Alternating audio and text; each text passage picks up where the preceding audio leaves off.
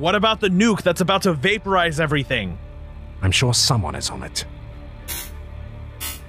T minus three minutes to total annihilation.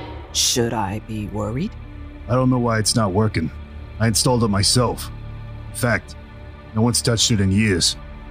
Well, except for that dorky guy. Is there a plan B?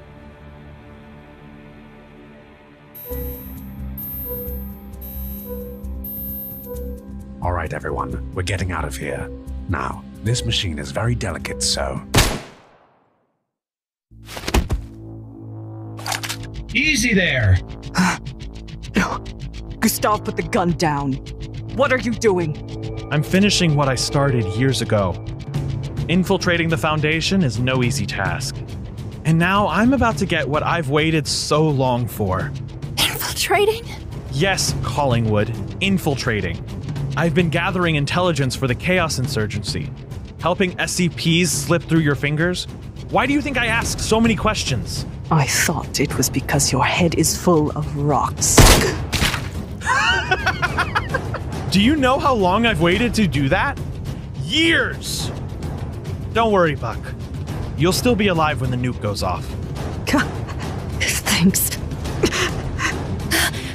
Let's talk about this, Gustav. What is there to say?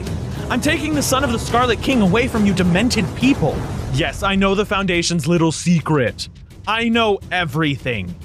999 has a big role to play in the coming storm. Where are you taking him? You should think very carefully about what you do next, Gustav. I'll leave you people to your own destruction. You won't be following me. Ah!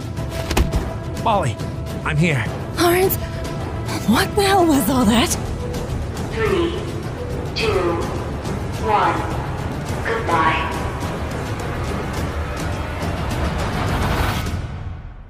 Hey, anyone else feel uh different